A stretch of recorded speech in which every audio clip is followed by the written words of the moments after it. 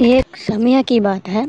एक गाँव में चंदन नाम का एक लड़का रहता था, जो रोज़ अपनी बकरियाँ जंगल में चराने के लिए लेके जाया करता था। और बाकी गाँव वाले भी उसके साथ अपनी बकरियों को भेज दिया करते थे और उसको महीने दर महीने पैसे दे दिया करते थे। और ऐसे ही उस लड़के का परिवार उसी की कमाई से चलता है। और एक दिन वो पहले की तरह जंगल में बकरियाँ लेकर जाता है और एक पेड़ के नीचे बैठ जाता है। उसकी बकरियाँ घास खाने के लिए इधर उधर चली जाती हैं और सोचता है कि मैं गाँव वालों को बेवकूफ़ बनाता हूँ।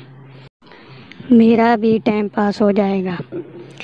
और वो क्या करता है? एक ऊँची पहाड़ी के ऊपर खड़ा होकर गाँव की तरफ़ मुँह करके आवाज़ लगाता है।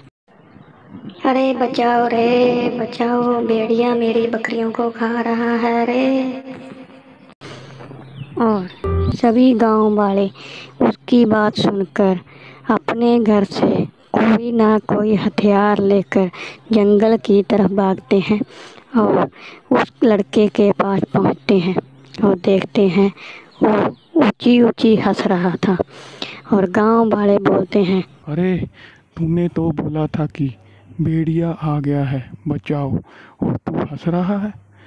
और लड़का बोलता है कि अरे मैंने तो मज़ाक मज़ाक में बोल दिया और आप लोग भागे आ गए।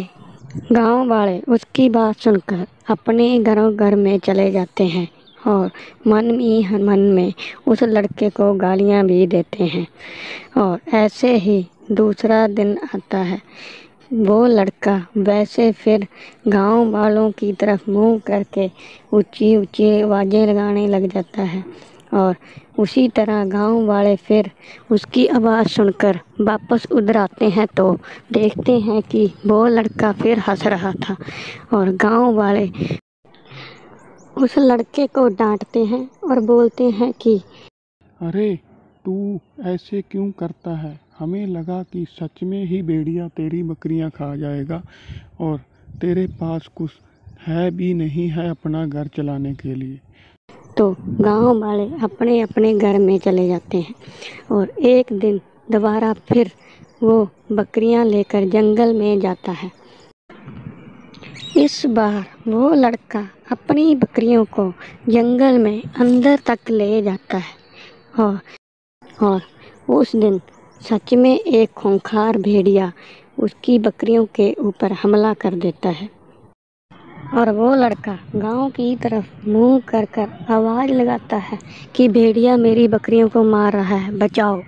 तो गाँव वाले उसकी आवाज़ सुनते हैं और बोलते हैं कि ये तो पहले की तरह मज़ाक कर रहा है और कोई भी गाँव वाला उसकी बकरियाँ बचाने नहीं आता है। और भेड़िया एक एक करके उसकी पूरी बकरियों को मार देता है और लड़का देखता ही रह जाता है और सोचता है कि काश मैंने गाँव वालों को बेवकूफ़ ना बनाया होता तो आज मेरी बकरियाँ ने नहीं मरना था।